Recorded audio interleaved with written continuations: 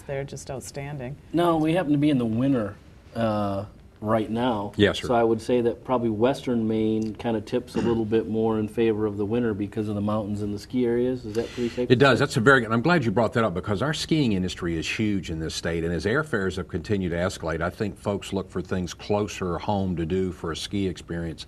And our mountains, our major mountains, are all uh, ready for winter with snowmaking capabilities. And of course, as cold winters we had, and the fresh snow that we have, we just sent out a tweet again the other day, and Facebook to I forget how many hundreds of thousands of folks, letting them know that you know the trails are being groomed. There's lots of snowmobiling open out there. The ski lifts are doing great, and that continues to grow in popularity every year. And that brings people more inland too. I mean, you think of Good the, point. Ma- the Maine Yeah. brand is is the Rocky Coast and the Lobster and Lighthouses, but on on the off season, if you will, um, bringing people to the interior, the the Sugarloafs and the mountains of the Yeah. region, the Sunday Rivers, is is important because Maine has so much more to offer than just than just the Rocky Yeah, Coast. and I, I, that's a very good point, and I appreciate you pointing out. People still one of our most asked questions year round in the visitor center is where can I see a moose?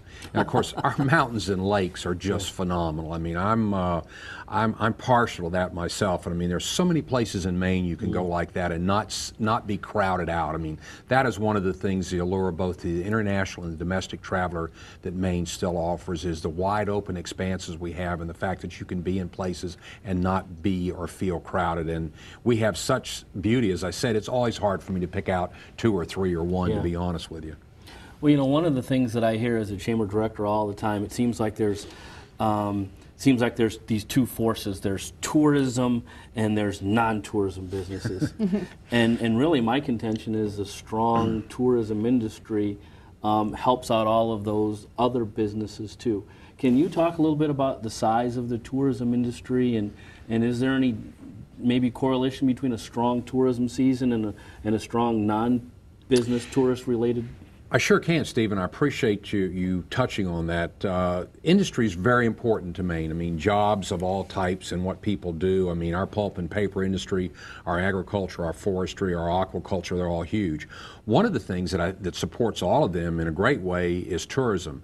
Last year, the tourism, or in 09, the tourism uh, sent back to the general fund of Maine $414 million. Now, that doesn't count the day trippers. That would be myself traveling to Kittery to do some shopping with my wife or whatever. Unless there's an overnight stay in it, there's still taxes that are generated, just as there are with folks coming up out of southern New England into Maine to shop. That's another 100 million on top of that. So we've been as high as 540 million in past years to the general fund. I don't believe there's any other segment of the industry, uh, of any industry in Maine, that contributes that much in tax revenues to the general fund, so it's huge. Another point about that is we've run into folks that, and I think it's a great opportunity for us that come to Maine to visit or recreate, get to know our folks, get to know what we have to offer here. And the next seed you want to plant in their mind, would it be a great place to extend your business, start a business, or be a part of? And that's happened in some cases where we've had folks that have come in and have done just that. Hmm. How are you able to track those dollars to distinguish between I need a new bathing suit, so I'm running to Kittery to get one, or you know, or, or people that are actually from away? Is it credit cards, or how do you track Well, it, it's yes, Kim. It is. It's credit cards are part of that. It's the overall tax sales that go on in the eight tourism regions that are subdivided uh, by revenue services in Maine. The state planning offices, the numbers that I come back with, those are all those are all come about the research that the state planning office does. And then there are models that are set up that they use, and also.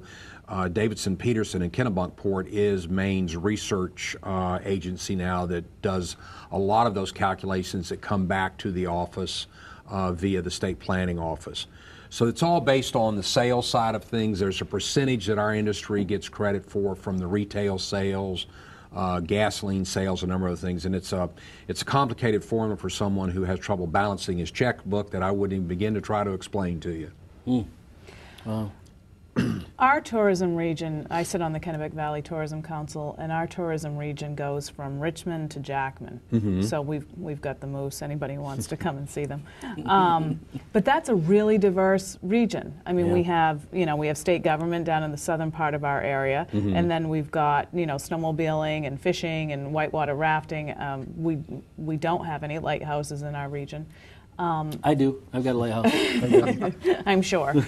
um, has this this whole dividing it into eight tourism regions? Do you think that? I, I guess I'm not enamored by the way it's divided because mm-hmm. it's really hard mm-hmm. for us to market that kind of diversity to, to get out to brand ourselves, if you will. Um, has it been successful, the eight marketing regions around the state, or hmm. could that be improved upon? Well, you know, I've, I've worked at this almost 13 years now and dealt with these eight tourism regions, and I have to admit, it's very, very challenging. It's challenging us for every year when we put the book together to get new edit, new photographs, and things that make it interesting to someone. When you stop and think that you can take all of the other New England states and put them within the boundaries of Maine and still have all kinds of space left over, it's a little um, awesome to try to deal with that task at hand. I've thought about that at times. How would you divide it? Would you go south to north and split it three ways? Would you do a central, a southern, a northern Maine? I, when I look at all those, Kim, I don't know that anything that works any better but, than what we have now. Because if we direct the person into the visitor center or they come into your information center in either one of your chambers, and you sit down and you open up the map and you show them where they are and where they want to go, you almost, from a regional standpoint, it's easier to do that way than it would be if you divide it any other way. I think the size that we're dealing with to this state, the massive size of it, really is a challenge in itself. I will tell you things like the Shorty Air Trail that come through your area; those are huge, and they end up down along the Kennebec back into. Um, uh, down on the coast. I mean, when you look at that, how far it stretches and what it has to offer, from my standpoint, when I look at that, we have so much more to bring that person back again that while the challenges is selling them on them, I think we have many things to come back. Well, you've explored this part of Maine, you need to come back and explore this. Yeah. The, the lighthouse and the lobster are always going to be a draw, but once we get them here, we have so much more to offer them, and that's what people will tell you. Uh, I know from research the state did last year that we're a repeat draw for folks. They come back multiple times once they've been to visit us. Only other place I know of that can say that is Hawaii. You know, as as I listen to this, you know, there's all different types of things that we wanted to talk about in this show, from from the snowmobiling to the backpacking to the lobsters. Yeah. That to most people, it's always a Maine lobster. It's not a you know New Hampshire lobster or a Canadian lobster. Great point. But you know, Kim and I were talking, and and and we said to ourselves, selves. that tourism is such a part of Maine business that we thought that maybe we should just make a tourism second uh, segment for Inside Maine Business. What do you think, Vaughn? I think that's you an could come back outstanding and- idea. Think you could come back and talk about the tourism industry? I'd love the opportunity to spend some more time with you and bring some folks in along those lines. I think it would be great, and I think your viewers would really enjoy it as well. It's an exciting subject. It So all in is. favor? Aye. Aye. All right, we're going to start a, a tourism segment of Inside Maine Business, um, just because it is really so important, seriously, to our Maine economy.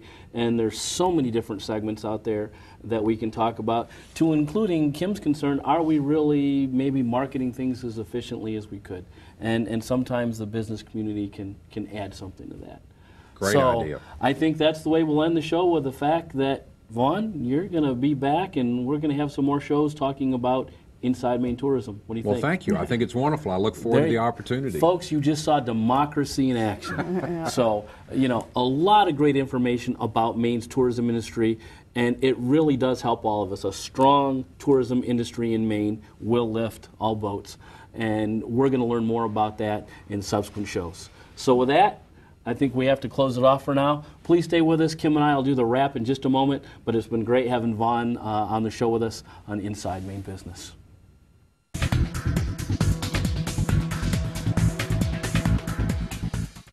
Fresh snow, fresh air, and incredible scenery awaits you in the Kennebec and Moose River valleys this winter. Enjoy an endless number of high quality groomed snowmobile trails and places to stay. If you like winter fishing, you'll find world class ice fishing in the Kennebec Valley. In addition to art and antique galleries and a wide array of restaurants to suit every palate. Visit us soon at www.kennebecvalley.org to download or request our travel guide. and create your winter memories in the Kennebec and Moose River valleys today. You've heard it all before.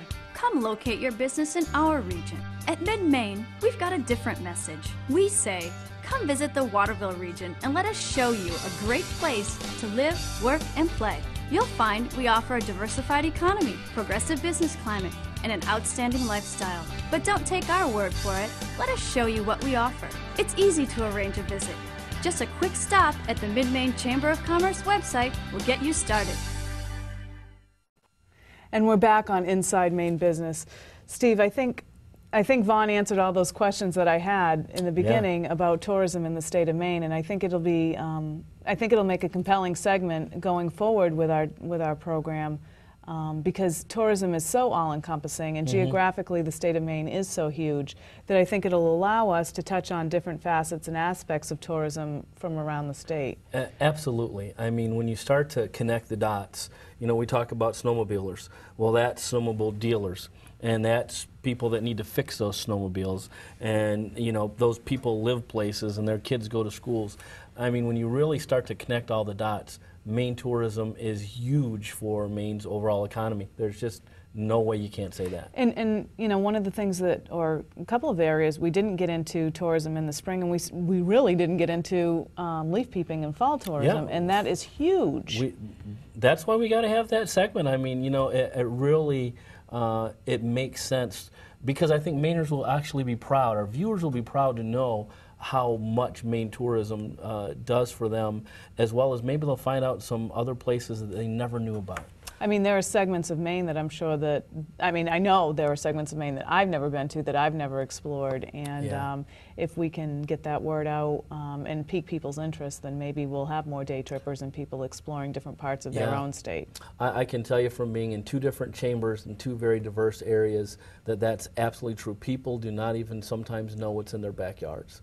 And uh, I'm hoping that uh, not only can we expand people's appreciation of Maine tourism, but get some more of those day trippers spending their money in the state of Maine. We really do have it all here. We do. What more do we need to say? Folks, we look forward to bringing you more uh, Inside Maine tourism uh, on Inside Maine Business. So, with that being said, we appreciate you watching the show today. And as always, if you missed any part of the show or another show, please feel free to go out to mainvod.com and you can watch all of our shows in their entirety uh, out there. So, with that being said, take care and we look forward to seeing you again soon on Inside Maine Business. Inside Maine Business with Kim Lindlof and Steve Wallace is Maine's only business show hosted by Maine business leaders. Lindlof and Wallace know firsthand what it takes to bring business to Maine and what goes on behind the headlines of Maine's biggest business stories. Inside Maine Business will bring you the movers and shakers of Maine's business world. From banking, investment, real estate development, and tourism to Maine's most successful companies, Inside Maine Business will bring you the answers you need about Maine business.